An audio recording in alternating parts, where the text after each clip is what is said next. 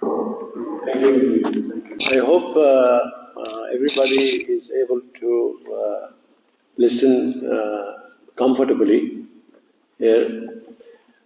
I'm not sure from where I will start, but very important thing is that all of us, we know uh, that any civilization of mankind in the past, they grew and ascended to a point where they could not sustain that ascendancy.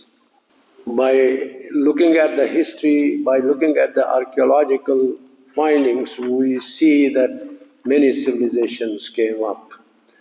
We saw in Egypt the civilization based on mysticism and dogmas.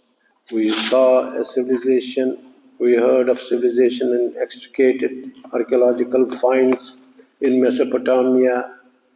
We found it in Indus Valley, Chinese civilization based on Confucianism, and Indian civilization based on the myths. And then we found the Roman civilization based on the Christianity, and the power of Christianity and religion. And then we, we had the golden period of what they call Islamic civilization. All these civilizations in the past had one thing in common that they could not pursue, pursue the, and could not combine and could not take care of the heterogeneous society that they belonged to.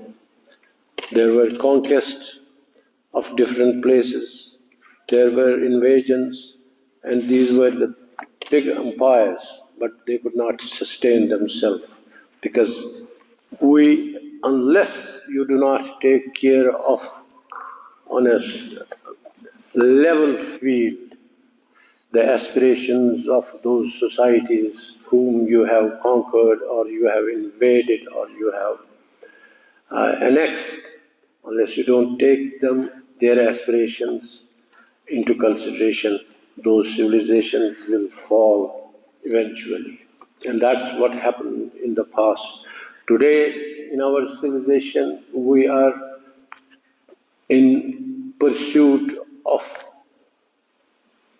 the far reaches of space and we are seeking the knowledge and understanding of the physical world that we live in.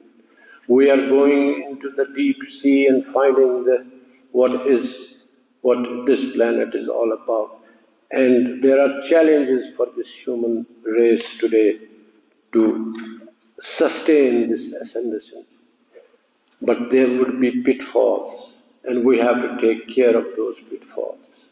And those pitfalls are nations today have nuclear arsenals all over. There are many nations who have within them they can they have the capabilities of destroying world not once, not twice. They have the capabilities of doing it ten times. So we are living in a dangerous world in which conflicts and issues have to be resolved. If we do not do that, we may fall in the abyss and this civilization may end up in ruins. So one of the recent issues when nation states in the name of democracy, when the uh, autocratic states in the name of nationalism, and then religious states in the national in the interest of religious religion, they they create a nation state. And then those nation states, when they become big and strong, somehow they have the courage and somehow they, with impunity they annex other nations, small nations. So that is what has happened in Ukraine lately, which the Western media is uh, showing considerably the knowledge of that.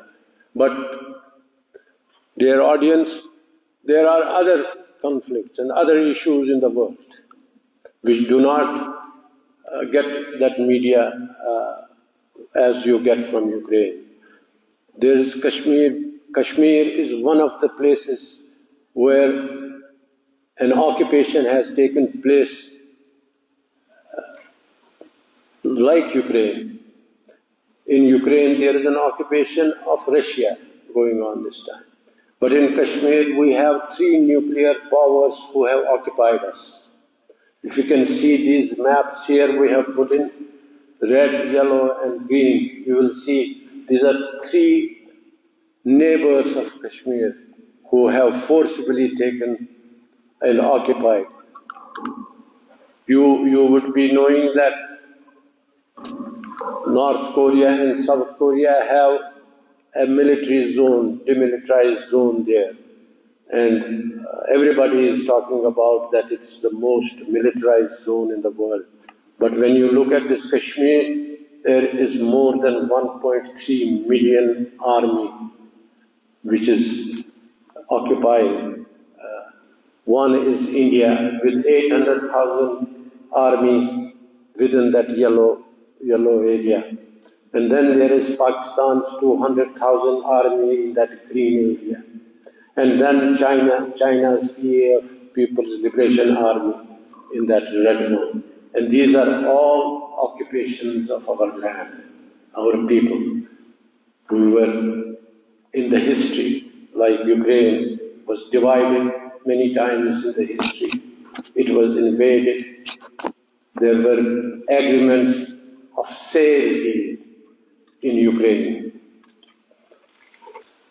A similar sale deeds were done in Kashmir.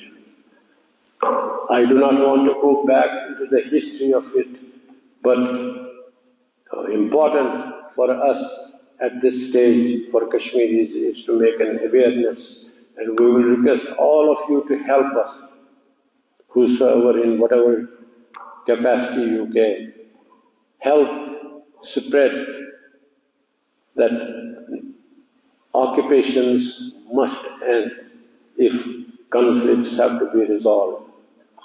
And unless we have conflicts, whether the conflict is Kashmir, Ukraine, whether it is Solomon Islands, Japan and China, whether it is uh, Cyprus between Turkey and Greece, whether it's all other uh,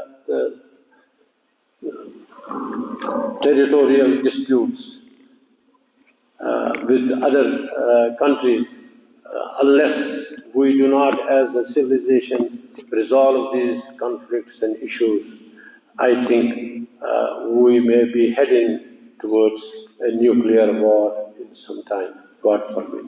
Because we have that. We have seen uh, President Putin even uh, giving indications that they will, uh, he can use nuclear war, nuclear arsenal.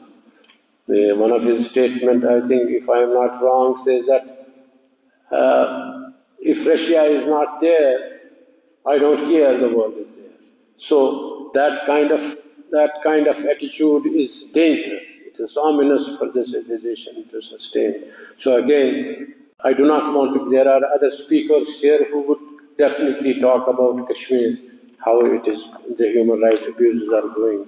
But definitely, I would request you, in your own individual capacity, to help Kashmir by making awareness about them, about the place. Thank you.